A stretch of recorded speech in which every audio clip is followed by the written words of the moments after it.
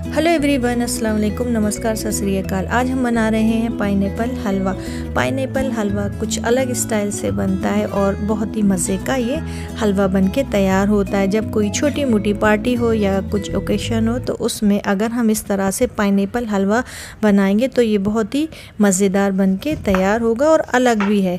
तो इसको हमने किस तरह से बनाया तो चलिए देख लेते हैं। तो पाइनएप्पल हलवा बनाने के लिए यहाँ पर मैंने हाफ़ के जी पाइनएप्पल लिया है। जिस इसको मैंने कट किया और बीज का जो हिस्सा था उसको मैंने निकाल दिया और उसके बाद यहाँ पे मैंने इसको बारीक बारीक कट कर लिया है।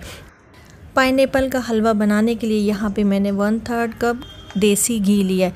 तो देसी घी में हमें इसको बनाना है। वन थर्ड कप देसी घी ऐड करने के बाद मैंने यहाँ पे वन थर्ड कप ही बादाम लिए तो बादाम को अच्छी तरह से मैंने फ्राई कर लिया जब ये चटकने लगे, उतना हमें फ्राई कर लेना है। तो इसको अब हम अलग प्लेट में निकाल लेंगे और उसके बाद मैंने यहाँ पर वन थर्ड कप किशमिश और वन फोर्थ कप मैंने यहाँ पर ब्लैक करंट लिया और टू टेबल स्पून यहाँ पर मैंने काजू लिए तो तीनों चीज़ों को मैंने फटाफट फ्राई कर लिया है। तो ड्राई फ्रूट फ्राई हो गए, इनको हमने अलग निकाल लिया। तो अब बारी आ जाती है पाइन को फ्राई करने की। यहाँ पे मैंने घी इसमें से थोड़ा सा निकाल दिया है, क्योंकि थोड़ा घी ज़्यादा था।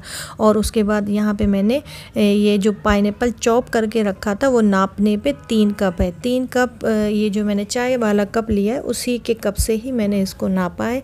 तो इसको अब हम घी में अच्छी तरह से हाई फ्लेम पर चम्मच चलाते हुए फ्राई कर लेंगे, जिससे इसका सारा मॉइस्चर निकल जाए और ये अच्छी तरह से फ्राई हो जाए। तो यहाँ पे पाइन अच्छी तरह से फ्राई हो गया है तो इसको मैंने अलग बोल में निकाल लिया है और उसके बाद वही कढ़ाई ली है मैंने और इसी कढ़ाई में ही मैंने घी जो था उसको मैंने निकाल लिया था। वही घी फिर से मैं इस कढ़ाई में ऐड कर दूँगी और उसके बाद इसमें हम ऐड करेंगे टू कप हमने यहाँ पे रवा लिया है। तो यही कप नाप के लिया है मैंने।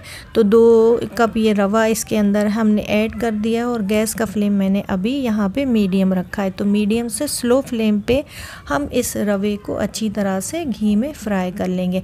अगर आपको थोड़ा बहुत घी और ऐड करना है तो आप अपने हिसाब से घी ऐड कर लीजिए। तो उसके बाद यहाँ पे मैंने वन कप ही शुगर लिए। तो शुगर को भी हम इसके अंदर ऐड कर देंगे और यहाँ पे मैंने ये चाय वाला कप से ही मेज़रमेंट किया है सारी चीज़ों का। और उसके बाद इसको मैंने अच्छी तरह से पाँच मिनट मीडियम से स्लो फ्लेम पे अच्छे से भून लिया है। तो शुगर भी ऐड करने के बाद ये दो से तीन मिनट इसको मैंने फिर से भूना, ये मेल्ट होना शुरू हो गई है उसके बाद देखिए इसी तरह का हमें इसमें कलर चाहिए। ज़्यादा डार्क कलर नहीं करना है। शुगर की क्वांटिटी आप अपने हिसाब से ज़्यादा कर लीजिए क्योंकि थोड़ा सा मैं कम शुगर खाना पसंद करती हूँ तो यहाँ पर मैंने दो कप रवे में एक कप शुगर ऐड की और उसके बाद अब बारी आ जाती है इसमें पानी ऐड करने की। पानी ऐड करने का बहुत ज़्यादा ध्यान रख के ही हमें ये हलवा बनाना है। तो यहाँ पर मैंने पाँच कप पानी लिया है और पानी ऐड करने के बाद कंटिन्यू मैंने इसमें चम्मच चलाया जिससे कोई भी लम्स इसमें ना पड़े। तो चम्मच अच्छी तरह से चलाने के बाद इसको अब मैं कवर करके रख दूँगी पाँच मिनट के लिए। पाँच मिनट इसको मैंने अच्छी तरह से कवर करके स्लो फ्लेम पे पका लिया है। तो पाँच मिनट के बाद ये हलवा इस तरह से तैयार है। देखिए, फिर से मैंने इसमें चम्मच चलाया और चम्मच चलाने के बाद हाई फ्लेम किया। हाई फ्लेम करके इसको मैंने फिर से दो मिनट बस और पकाया है, जिससे ये अच्छी तरह से पक जाए। इस तरह का हमें सॉफ्ट हलवा बनाना था तो ये सॉफ्ट हलवा इस तरह का परफेक्ट है, पानी भी इसमें परफेक्ट पड़ा है। उसके बाद इसके अंदर हमने ऐड कर दिया है जो पाइन को हमने घी में फ्राई करके रखा था, वो भी ऐड कर दिया और उसके बाद जो हमने ड्राई फ्रूट को फ्राई किया था, वो भी ऐड कर देंगे।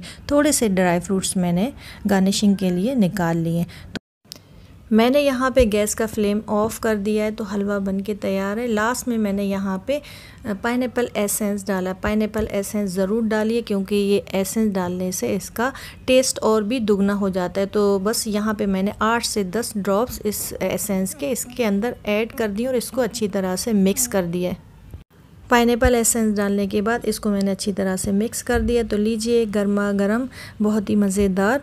पाइनएप्पल हलवा बनके तैयार हुआ है। पाइनएप्पल हलवे की इतनी अच्छी खुशबू आ रही है कि पूरे घर में इसकी खुशबू महक रही है। तो बस लास्ट में हमने जो ड्राई फ्रूट्स बचा के रखे थे गार्निशिंग के लिए, वो हम इसके अंदर ऐड कर देंगे। तो इसी तरह से मज़ेदार पाइनएप्पल हलवा अगर आप लोगों को भी बनाना है तो जल्दी जल्दी से आप लोग भी पाइनएप्पल हलवा ज़रूर बनाइए और शर्त ये है कि पाइनएप्पल हलवे को आप लोग देसी घी में ही बनाइएगा।